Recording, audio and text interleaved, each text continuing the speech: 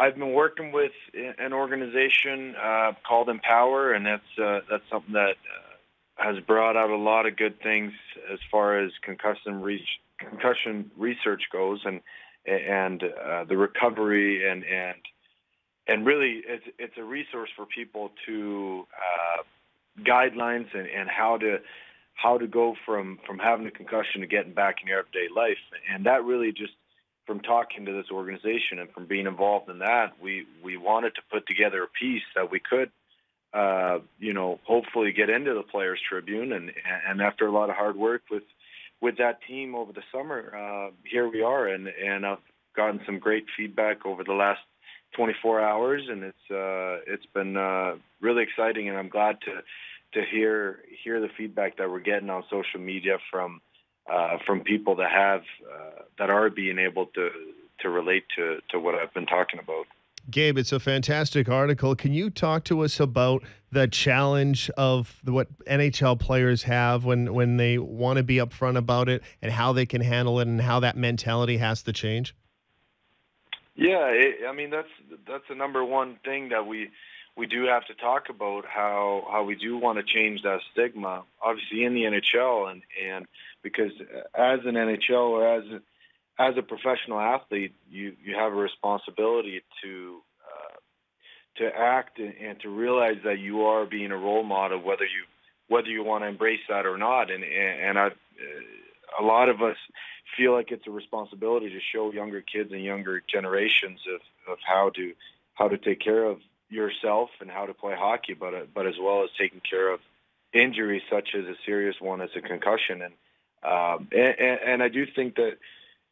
an important issue that I want to bring up it, it doesn't necessarily have to be an NHL player, and it doesn't necessarily have to be uh, just towards uh, elite hockey players, but but to all those kids across North America and, and across the world that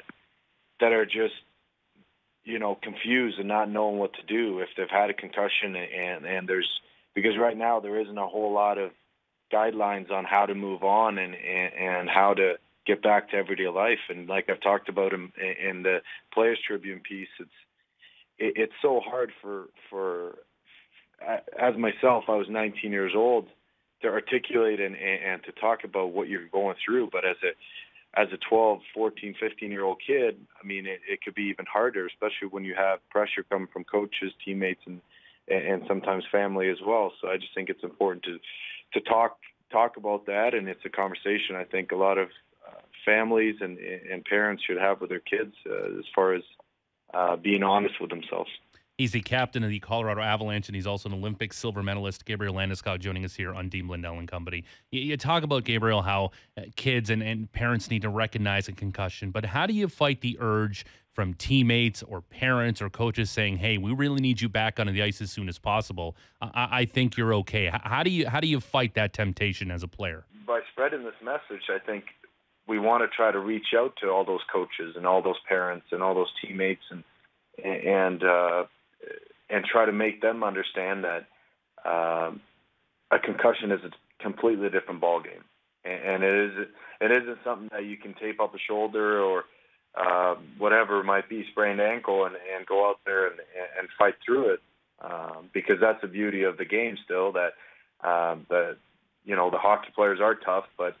uh, we still have to differentiate the difference between a concussion and any other um, injury as far as a shoulder or or uh, knee or whatever it might be. Uh, we've linked uh, Gabriel's uh, story. We need to talk about concussions right now in the Players Tribune. Added Dean Blundell. Go check it out right now. Gabriel, for those of uh, the listeners who haven't uh, read your piece yet, uh, just just fill us fill them in on your experiences and the symptoms and how you actually had to deal with the concussion and how just everyday life was a challenge dealing with that head injury.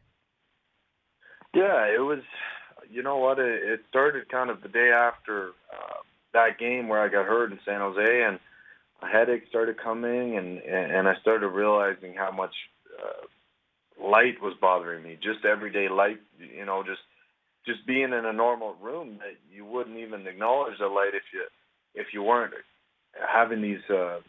these symptoms and even loud noises. I mean, I was you know, the times that I would listen to radio, I mean, it would be on on really low, and and things with because any any high volume, whether you're walking through a, a crowded section or um, you're going to the mall or whatever it might be, that would just be you know really bothering me in terms of you know just too many things going on and and, my eyes would start hurting and um, and, and just get really irritated. I mean, my my girlfriend and I were having a a long term or, or long distance relationship at the time, and, and you know should you know just get I would just get irritated on the on the